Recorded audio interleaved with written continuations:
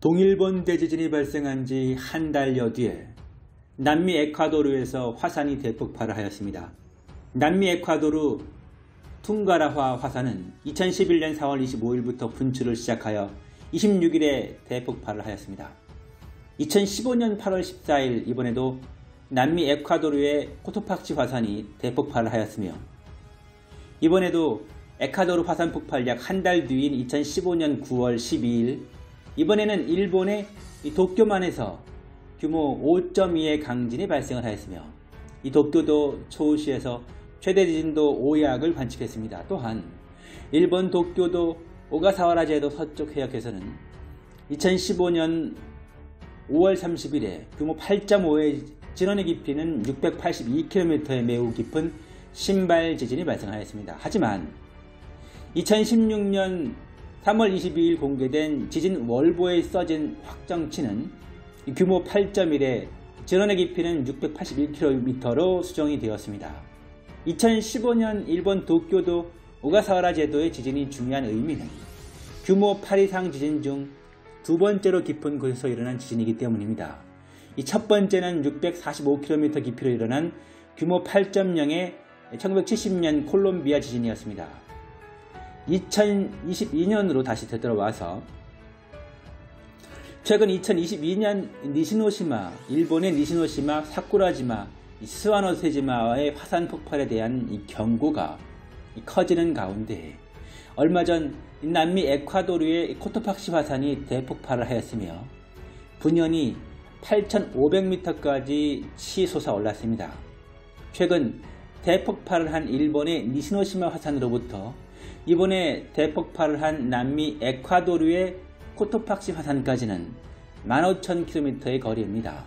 이 거리를 보는 이유는 일본과 남미 에콰도르는 지진과 화산 폭발의 상호 연관성, 도미노 연관성을 가지고 있다고 생각이 되어서입니다. 물론 이것은 제 개인적인 연구 결과일 뿐입니다.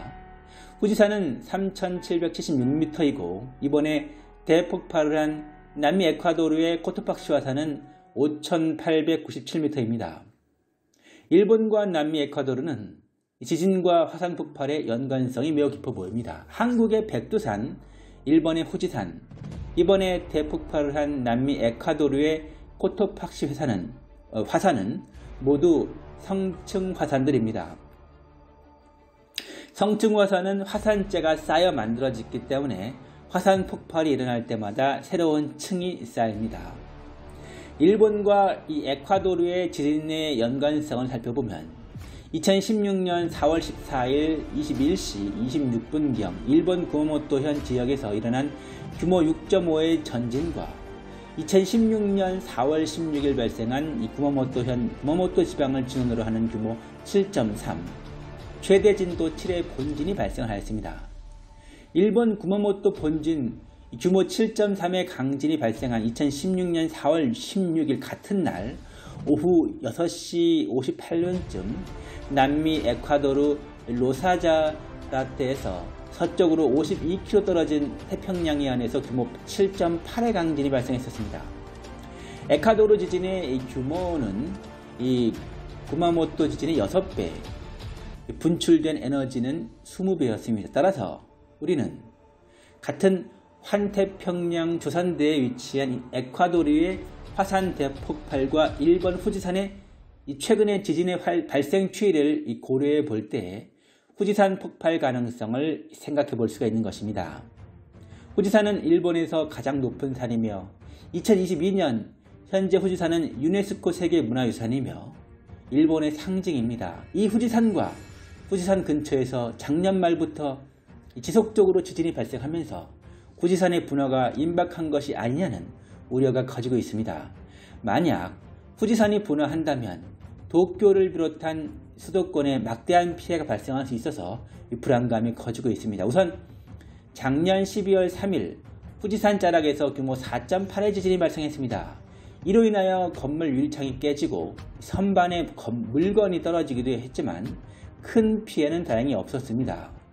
일본 기상청은 후지산의 마그마 활동에는 변동이 없다고 발표를 했습니다만 화산 전문가들은 후지산에 분화가 임박했다는 증거로 보고 있습니다. 화라산인 후지산 아래 지하 20km엔 마그마가 있는데 단단한 암석과 달리 고온 액체 상태여서 바로 위 지층에서 지진이 발생할 경우 주파수가 긴 저주파 지진으로 관측이 됩니다. 작년 말부터 1년간의 지진을 분석해보면 대부분의 지진들이 저주파 지진의 일종으로 마그마의 움직임과 무관치 않다는 것입니다. 깊이로 봐도 주파수로 봐도 저주파 지진의 일종이어서 이 저주파 지진이 일어나기 시작하는 건 아닌가 그 중에서도 큰 지진이 일어나는 건 아닌가라는 우려가 커지고 있습니다. 후지산은 100년에서 150년마다 분화했는데 마지막 분화는 1707년으로 300년이 넘었습니다. 그 말은 즉 2022년 10월 26일 수요일 오늘 당장 후지산이 분화해도 전혀 이상하지 않은 타이밍이라는 것입니다. 또한 우려가 되는 것은 300년 전에 분화하고 아직 분화하지 않았으므로 이번에 분화할 때에는 비교적 큰 분화가 발생할 것으로 예측이 되고 있습니다. 일본 정부의 분화 시뮬레이션에 따르면 후지산 분화에 따른 피해는 막대합니다. 먼저 용암이 주변 17개 지자체를 덮치고 화산재가 3시간이면 도쿄 도심부에 도달합니다. 우선 철도가 멈춰서고 자동차 운전이 어려워지는데 만일 비가 올 경우 대규모 정전과 단수가 발생해 최악의 경우 수도 기능이 마비될 수도 있습니다. 이 며칠 전인 2022년 10월 22일 토요일 아침 후지산에 삭각구름이 나타났었습니다. 이에 대하여도 혹시 지진운이 아닌가 하는 우려가 커지고 있습니다.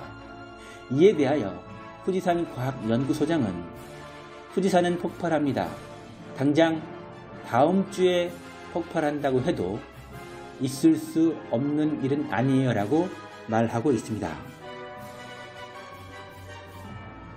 또한 2011년 2만 명에 가까운 생명을 앗아갔던 대재앙인 동일본 대지진 때 심해 여인 산갈치가 포획이 되었었는데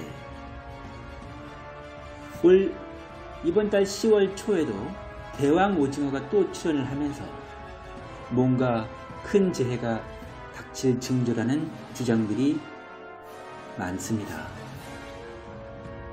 최근 지난주에도 후지산에 저주파 지진이 연속 폭발을 하고 있는 것이 확인이 되었으며 후지산의 저주파 지진들은 이 마그마의 움직임과 무관치 않아 보인다는 것이 전문가들의 공통된 주장입니다. 시청해 주셔서 진심으로 감사드리겠습니다. 구독과 좋아요, 알람 설정을 꼭 부탁드리겠습니다. 이 채널을 운영하는데 큰 힘이 됩니다. 감사드립니다.